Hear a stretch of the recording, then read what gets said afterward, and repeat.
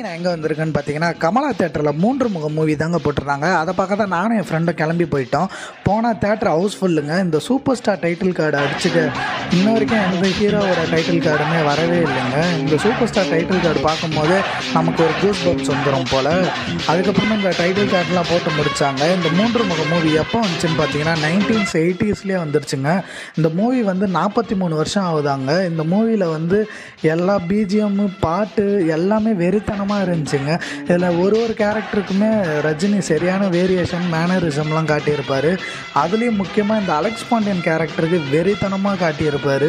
ஒரு ஒரு சீனுக்குமே தேட்டரில் சரியான கூஸ் பம்ஸுங்க இதில் முக்கியமான டைலாகே எதுன்னு பார்த்தீங்கன்னா இந்த டைலாக் தான். தீப்பெட்டிக்கு ரெண்டு பக்கம் வருஷாதான் தீ பிடிக்கும். ஆனா இந்த அலெக்ஸ் பாண்டியனுக்கு எந்த பக்கம் வருஷாலும் தீ பிடிக்கும். இன்னும் இந்த மாதிரி நிறைய மூவி ரிவ்யூ வேணுன்னா எங்கள் எஃப்டி சேனல் சப்ஸ்கிரைப் பண்ணிடுங்க. பாய்